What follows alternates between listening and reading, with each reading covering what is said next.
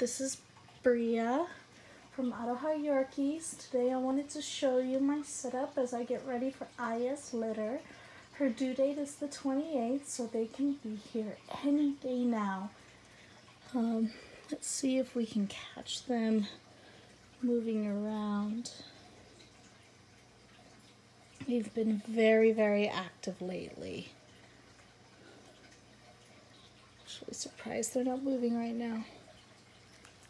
They were moving just a little bit ago.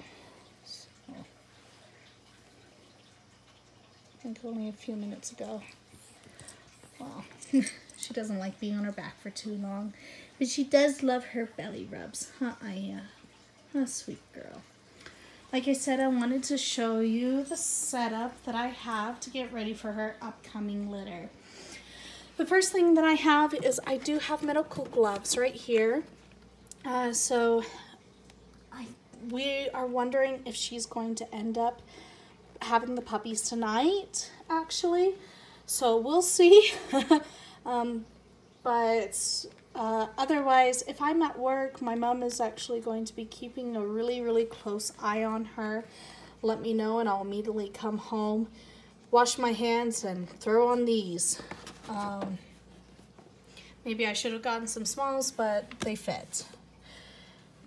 I've got uh, to be able to take her temperature. I've been taking her temperature just to make sure she's doing all right. Um, so basically what I'll do is I'll immediately come home, wash my hands, put these on, and I'll grab this to take over to the area. Um, that's This is everything that I should need for labor. Um, my plan is to basically, once the puppy is out, but she's in her sack, um, I'll help cut her out here with these. Um, being very, very careful. Um, I'm going to have, thankfully, have really, really steady hands. So uh, we'll take, we'll see. And then once the puppy is out of the sack, I'm going to go ahead and clamp the uh, the umbilical cord and then with this one, I'm gonna make sure, you know, sanitize between every pop um, and use these two different ones for different things. So this is going to be the one that I use to clamp, I mean not clamp, cut the umbilical cord. And then once I've got the puppy breathing, if needed, I'll be using this to be able to uh, suck out any fluids uh, that the puppy may have.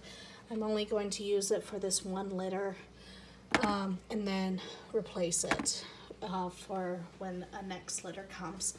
I've also got towels available and ready to be able to help out. And then once I've got the puppy breathing, um, I'll use dental floss to tie off the umbilical cord and take off the clamps. Also, what I have in here is I do have vitamins, uh, Petcal to be able to prepare her calcium uh, for feeding her puppies. It's you have to take have her take these seven days before the due date and five days after the puppies come. Oxy Mate, I've been having her on since she uh, was bred. Uh, so she's been on this uh, to be able to help grow the puppies and help them be healthy and strong. Um, Oxy Mama I have ready for her as soon as the puppies come uh, to be able to keep her milk coming and keep it good. Um, I have this notebook slash planner uh, ready to be able to take notes and keep track of the puppies.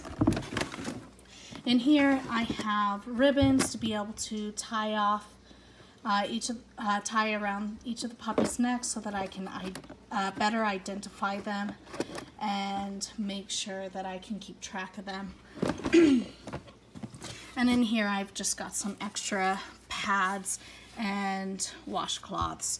I do have a lot more pads and washcloths in other areas, but this is all um, within reach. Uh, thankfully this can move around so I'm able to move this next to me if I have to. I also have this baby scale ready to be able to see, uh, track the puppy's weight um, and make sure that they're eating and growing as well as being able to chart them, uh, yeah, to chart them. Uh, this is a second liner um, since I'm sure the first liner is going to get messy really, really soon. So I have this liner ready uh, so that I can switch it out and wash the first one. Now, sweet little Eya, she's just hanging out. Huh, sweet girl. Huh? Huh? she's like, I am so ready for these puppies to be here. All right, so uh, here is the whelping area. I have Eya's food right here, so she has easy access to it. She doesn't have to walk too far away from the puppies. I have this light here just so that I can see everything and make sure everything's well. Um, I've got a pad so that I can just go to the bathroom there if she needs to. Um, and then here is the first whelping box. Uh, this one is where she will have the puppies and where she'll uh, feed them and everything. This is the box. To be able to make her a little more comfortable until the puppies are here, I did add her favorite toy. So, and then this is the nursery. Uh, basically, why I have this is so that while she's in labor, um, while she, so as soon as the puppies come out, I'll immediately uh, get them latched onto her. But when the puppy, the next puppy is coming and she's in labor and she's, you know, it's coming, then I want her to be able to solely focus on this new puppy. Uh, so I'll be moving the puppies uh, to this nursery uh, so that she doesn't step on them, roll on them, or get distracted by them. Um, now both whelping boxes, both boxes, do have uh, heating pads underneath. So I've both of them, I'm able to choose the temperature. Um, so while Eya is in there with the puppies, it will be on always be on low. Um, if she ever does need to leave the nest, uh, maybe go to the bathroom or something, I will bring it up to medium.